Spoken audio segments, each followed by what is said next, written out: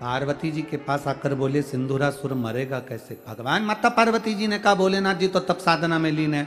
इनको मारना कठिन। अब ये इनको जगाए कौन? और ये जागेंगे नहीं तब तक सिंधुरासुर मरेगा नहीं तो फिर करूँ क्या?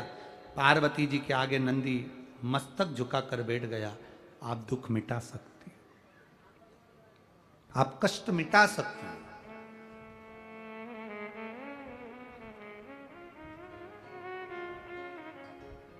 दुनिया का ऐसा कौन सा दुख है जो माँ नहीं मिटा सकती?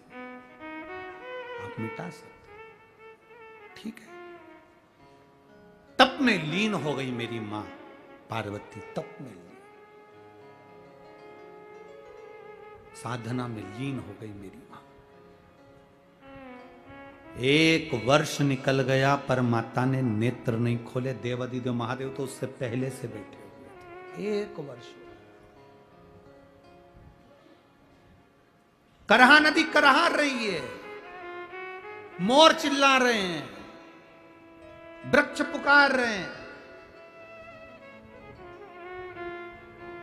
नंदी स्तुब्ध होकर माँ के सामने बैठ गया। मेरे सिर पर रख दो। मस्त रहूँ तेरी माँ, कृपा करो, दया करो माँ, करुणा करो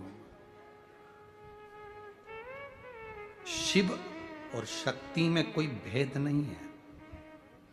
शिव और शक्ति में कोई भेद नहीं है। लोग कह देते हैं, देवी जी अलग है और शंकर जी अलग है। शिव महापुराण कभी नहीं कहती कि देवी जी अलग और शंकर जी अलग है। ये दोनों एक ही हैं। शिव और शक्ति एक है देवी और शंकर।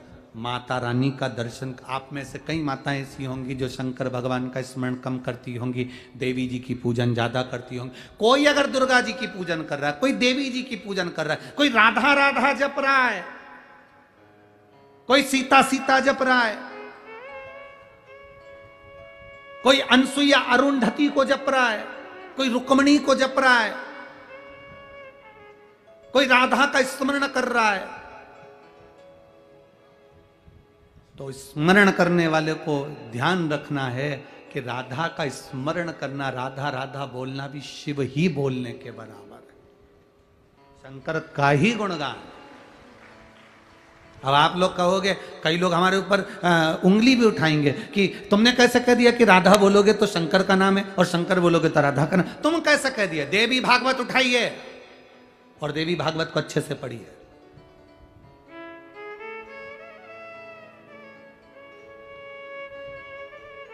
देवी भागवत को अच्छे से पढ़ना, विष्णु पुराण को पढ़ना, गर्ग संहिता को पढ़ना, शिव महापुराण को पढ़ना।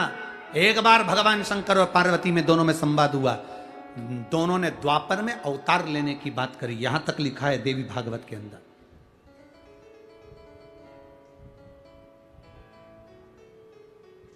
पार्वती जब क्रोध में कालका का रूप ले ली। शाम वर्ण पड़ गया, तब कह दिया,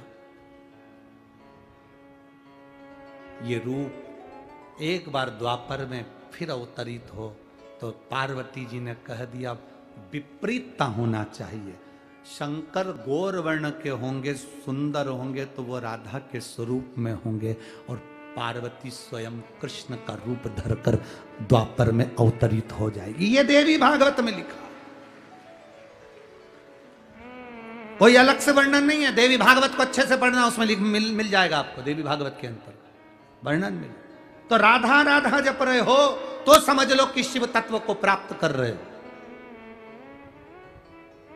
कृष्ण शब्द का संबोधन कर रहे हो। हे कृष्ण हे कृष्ण कृष्ण का संबोधन कर रहे हो तो समझ लो, पार्वती का स्मरण कर रहे हो।